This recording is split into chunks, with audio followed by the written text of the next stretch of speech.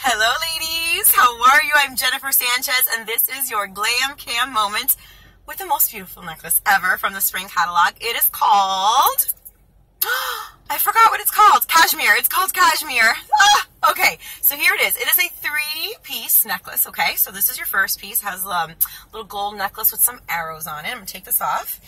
Um, great piece for layering. Super simple. Then it has this middle piece that's stretchy. So ladies are loving that.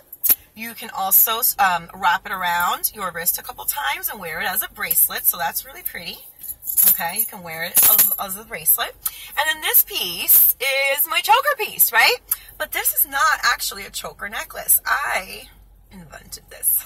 no, but I did use a um, clip it to make it into a choker. So if you can see, the sun's kind of messing with me, but I've wrapped it a couple times around the um, clip it so that I could do this. But I'll show you how I did this afterward.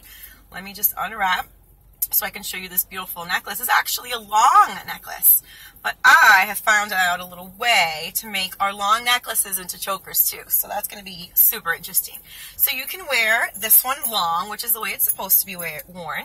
Um, you can add this in for a layer, or you can use the clip it for this one. Remember, usually for a clip it, you just put it on there once, make a smiley face, and then put it on. So we can do this. Okay, you can wear it like that.